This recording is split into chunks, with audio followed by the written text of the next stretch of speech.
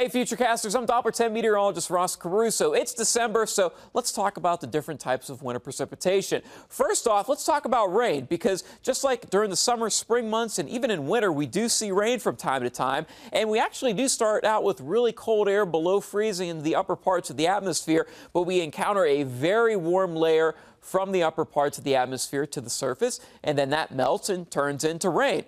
But when we talk about rain, whenever it's really cold out after a couple days in the winter months where temperatures are well below freezing, we get a warm front that comes through. That system then brings rain. And similar to what we would see again in any other month with just plain rain, the grounds are so cold that that rain freezes on contact with the surface, and that's what we call freezing rain. Another situation we call sleet. Sleet is similar to that of snow, but it's actually snow encountering a very warm, shallow layer, which actually melts the snow, but then it falls into another layer of cold air. It refreezes, and that's how we get sleet. And then when we don't have any warm air that's present that isn't above freezing, well, we just see plain snow. There's another interesting type of precipitation that we see, and that's called graupel. Similar to the sleet, it's going to be encountering air that's just slightly cooler, not necessarily warm, because we're still talking about super cooled water droplets with temperatures below freezing. So we have the snow that's falling between that area,